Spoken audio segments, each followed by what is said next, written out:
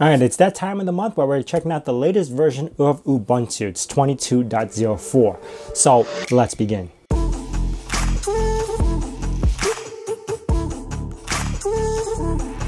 Now, I generally like to check out their long-term support versions, which is 24. Anything with an even number, I like to check out. That's because that's their long-term support version. And this is their latest version that's coming out sometime this month, which is in April. They are 24.04. Now, first thing I want to do is jump into their installer. Now, I am running this off of my Proxmox and I am running a virtual machine. I do tend to like to run these natively, but I wanted to show you guys the installer and what they changed in here. Now here we go through the language selection. We're gonna hit English for next. And then here we could actually see the accessibility features that we could actually enable during install, which was never here before.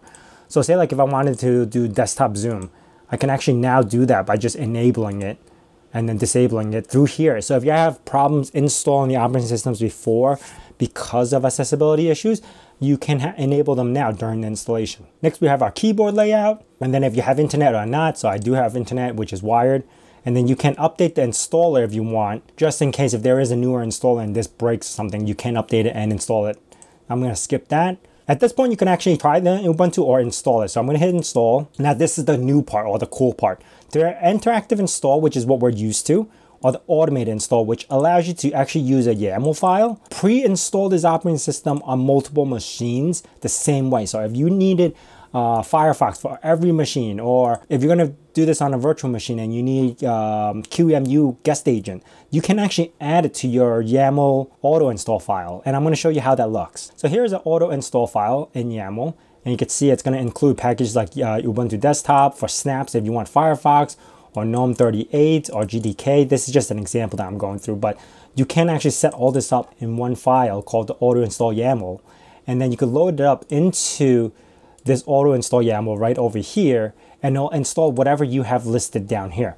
A lot of uh, newer operating systems are going towards this method because it's just easier if you want to mass install the operating system for multiple machines that are the same specs and everything and you need specific applications uh, which is really cool. I do like the fact that they did include this into the installer. But I, I'm not going to use it this time. I am going to check out the interactive installer.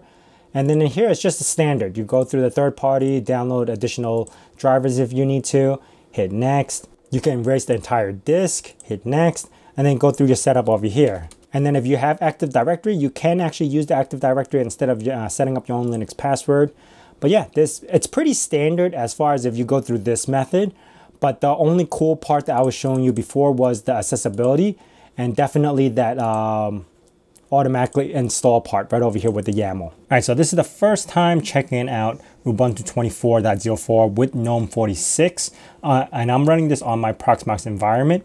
And to take a look at it, it looks pretty standard. They do have the menu on the left. I did add a couple of extensions just to try it out.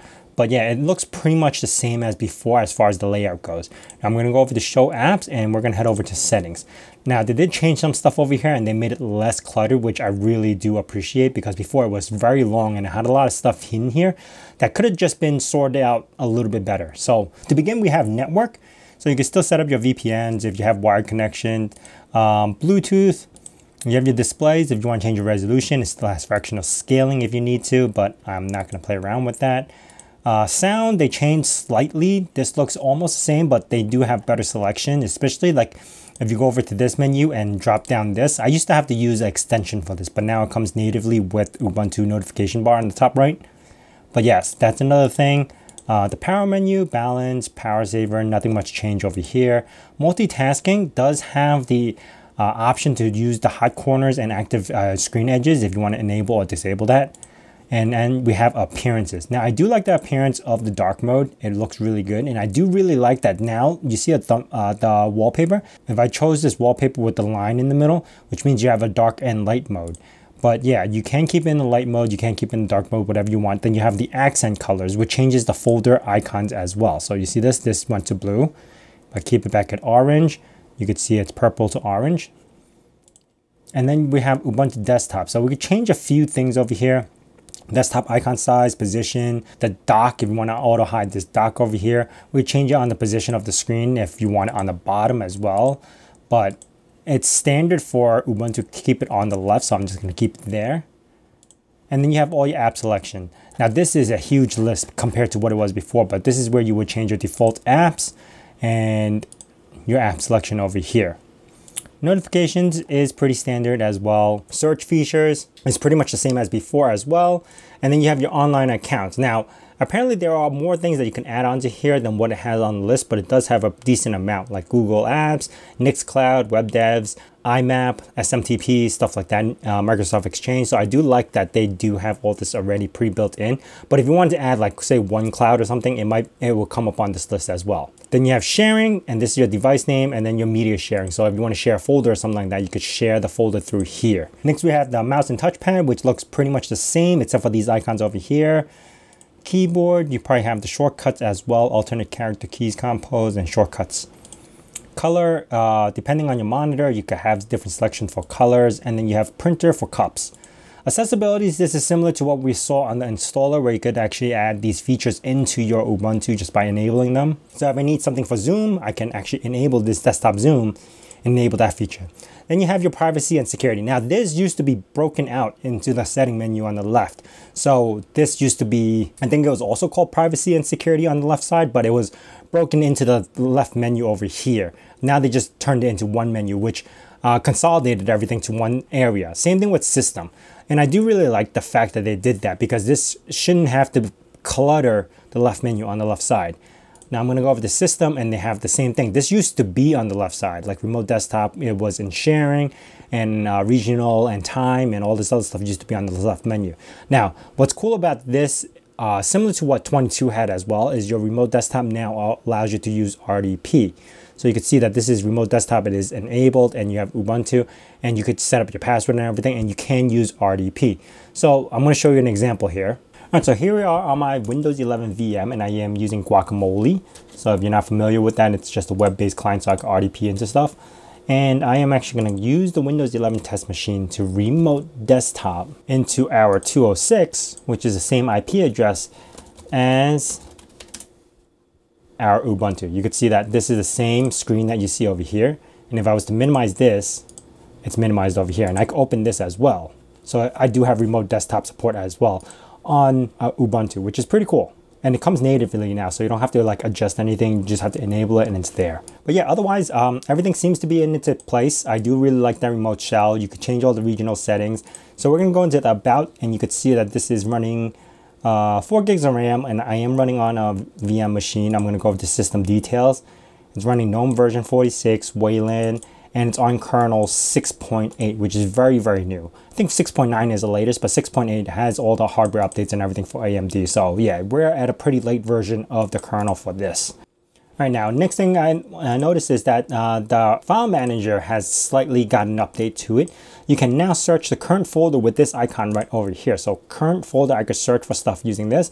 But if I want to search for stuff system wide, it would be this. So it's kind of like you have two search bars on each one. Another thing we could do now is actually search for more detail. So this used to just say modified and then this is it. There's not much detailed information on this, but you can now go into here, go into preferences, and then actually go into more detailed explanation of the files. This gets expanded and then now it's more detailed expansion. So I kind of like that because I like to use it when it's this mode instead of the icon mode.